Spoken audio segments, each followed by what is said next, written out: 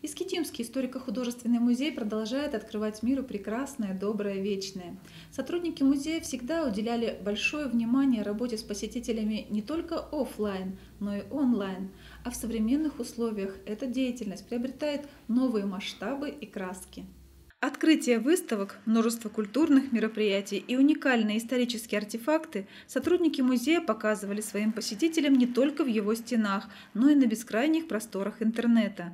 То есть у нас всегда была, велась большая работа в группе ВКонтакте, в Инстаграме, на сайте. Мы размещали везде выставки, общались с нашими посетителями. Когда все перешли на режим самоизоляции, мы тут же образовали дополнительную группу ВКонтакте «Скитимский музей онлайн». Так и назвали для понятности. Думали, что это ненадолго, оказалось, что надолго, поэтому сейчас там деятельность только развивается. С чего мы начали? Мы сразу разместили в группе «Скитимский музей онлайн» все наши материалы, все наши наработки, которые уже были.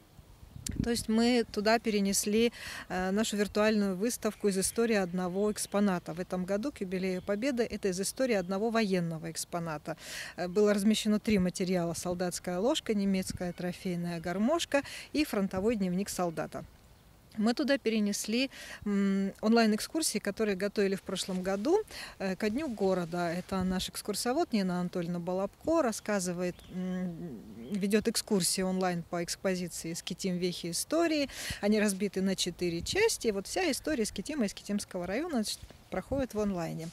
Далее мы туда перенесли ссылки на платформу «Артефакт», это то, что мы презентовали в декабре, выставка «Православное наследие» в нашем зале иконописи, которую можно посмотреть на платформе «Артефакт». Мы туда перенесли ссылку на Искитимский музей на платформе Easy Travel. Это зал природы. Также можно зайти и в зале, и с любого смартфона, компьютера. Вот сейчас нам это очень пригодилось, да. Ну а когда мы поняли, что через неделю мы не, не начнем напрямую общаться с нашими посетителями, начали развивать активнее. Начали акцию онлайн-флешмоб «Мой герой». Это что за акция? Это, значит, каждый желающий поучаствовать должен предоставить фотографию свою или там своего ребенка, внука, э, держащего в руках фотографию героя войны, участника войны или труженика тыла. К фотографии прилагается описание, кто изображен, как зовут непосредственно этого внука-правнука, как зовут прабабушку или прадеда, каков их вклад э, в общую победу и его краткое жизнеописание. Ну, любое описание, любая информация, которой семья владеет. Вот, значит, с 24 а, марта по сегодняшний день в этой акции уже приняли участие 14 семей. Очень активно люди участвуют участвуют причем всех возрастов, и от четырехлетних детей до 70-летних женщин, которые фотографируются с фотографиями своих э, отцов. Э, можно не только свежую фотографию, можно фотографию, которая уже была сделана во время шествия бессмертного полка. Вот таких большинство присылает. 30 апреля эта акция завершится, и из всех присланных фотографий мы сделаем большой баннер, разместим его на музее. Там также будет подписано, кто на этих фото изображен. Вот онлайн флешмоб «Мой герой». Планируемая традиционная выставка «Пасха дивная. Чудо красное» в этом году также развернулась в виртуальном пространстве и за неделю набрала немало мастеров, мастериц и их поклонников. Мастера готовили, сделали бисерные поделки, вышивки, картины писали. Обидно, если такой труд пропадет, поэтому мы вчера всех пригласили фотографировать свои работы и мы также выкладываем, что это вот выставка, посвященная Пасхе. Весну никто не отменял. Уважаемые наши мастера-мастерицы, участвуйте. Буквально за вчерашний вечер, несколько часов, уже откликнулись 10 мастеров, э, предоставили порядка 70 работ фотографий. Э, к счастью, они у них уже были. И что самое интересное, из этих 10 мастеров 9 новых то есть в музей же приходят уже с выставками привычные люди в возрасте, которые уже из года в год на эту традиционную пасхальную выставку готовятся предоставить свои работы. А здесь мы смогли привлечь неожиданно для себя людей, которые никогда у нас не принимали участие ни в каких выставках.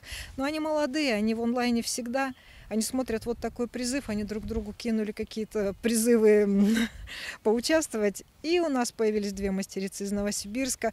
Одна очень интересная, Ольга Соколова. Э, авторские куклы высочайшего качества. Вязание. Принял участие даже детский сад «Дюймовочка», также его очень активные молодые воспитатели Наталья Лихно.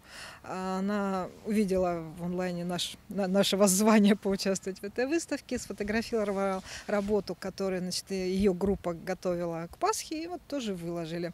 Сегодня день только начался, поэтому все еще впереди, поток работы идет и идет. Не только эскетимцы посещают городской музей онлайн. Его гостями уже стали жители Ленева, Берска, Новосибирска, Москвы, а также посетители из США, Франции, Германии и Ирландии. А платформа музея готова открывать таланты миру и дальше. Уже сегодня позвонила управление образования. У них должна была 23 апреля стартовать выставка детского творчества, городская выставка. Естественно, она не состоится в музее, но опять же дети готовились, нельзя, чтобы эти работы пропадали. Поэтому управление образования обратилось вот с такой просьбой. Давайте мы ее тоже выложим онлайн. Сегодня они готовят положение, рассылают по всем учреждениям а, образования, школьным, дошкольным. Педагоги также будут фотографировать все работы, подписывать, чья работа, как называется. И это тоже все пойдет э, ВКонтакте Искитимский музей онлайн и в Инстаграме Искитимского музея. То есть как-то вот не прекратилась деятельность музея, стало даже наоборот интереснее, как-то масштабнее. По инициативе Управления культуры Искитима к 75-летию Победы в Великой Отечественной войне в центре города был заменен баннер, установленный на улице Пушкина напротив парка. Это два баннера посвящены эскетимцам-героям войны, два баннера эскетимцам-героям тыла. Они так и называются. Фотографии мы использовали сюжетные, постарались выбрать интересные.